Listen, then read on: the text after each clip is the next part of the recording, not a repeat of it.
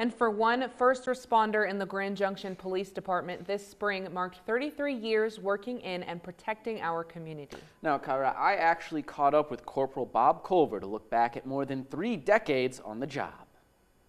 You know, people say it's for the service, and I, I think that's true, but it's something deeper in you that it's what you want to do. You want to make a difference. Thousands join the police force every year hoping to make a difference in their communities. But few can say they've made as much of a difference as Corporal Bob Culver, who's been serving the Grand Junction community for more than three decades. That, I think, helps you grow that community. A feat made more amazing when you learn he hadn't lived in Grand Junction until he joined the Grand Junction Police Department. I took a job as a criminal investigator or special agent with the Immigration and Naturalization Service. After spending some time in Los Angeles, the Denver born Culver wanted to come back to the Centennial State. At the time, there wasn't a lot of uh, police jobs available, and uh, Grand Junction uh, had a testing. There was no jobs available when I tested. But six months later, an opening came up, and the rest is history. Well, when you say memorable things, there could be a lot of different categories of that. I was a SWAT guy for almost 19 years. I was a detective for about five.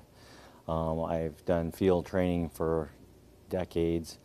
Um, taught at the academy for like 13 years. In that time, he's seen just about everything in Grand Junction, from the pipe bombing at the Grand Junction Convention Center to the shooting at Eastgate City Market. Just about every major incident that's gone on in 30 years I've been around. While Culver is proud of the SWAT team and investigative work in his past, he told me the work he's done to directly improve our community in recent years stands out more. Probably my favorite time has been this last few years. We really try to have that collaborative effort, and so being involved in that and trying to make a difference there and help people feel good and have a good community means a lot to me. Now he's hanging up his badge, something his family is happy to see. Absolutely happy because now I don't have to really worry about him when things are happening, calls, wondering if it might be something bad that he has to go to. And and so, what do you guys think he'll do with all this uh, free time now?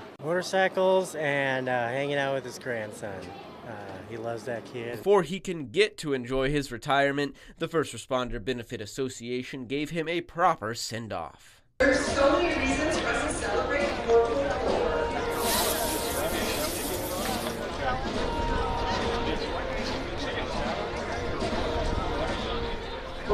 to celebrate Culver with their Heart Meets Valor Award. Bob has dedicated 35 years of his life to serving our community with the Grand Junction Police Department. Corporal Culver will be our special guest throwing out the first pitch. So whenever you're ready, go ahead and throw out the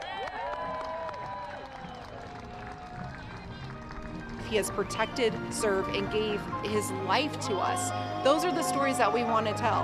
And if we just focus on the darkness, then we won't be able to see that spark. Enjoy your retirement, Corporal Culver. First on the Western Slope, Michael Logerwell, KREX 5 News. The now former Corporal Bob Culver told us despite his retirement, he'll still be involved in the community, just not with GJPD. That was a great pa uh, package, Michael. Thank Very you, good. Tyra. Didn't leave me with any questions. And for more information on the First Responder Benefit Association or Bob Culver's story, you can visit westernslopenow.com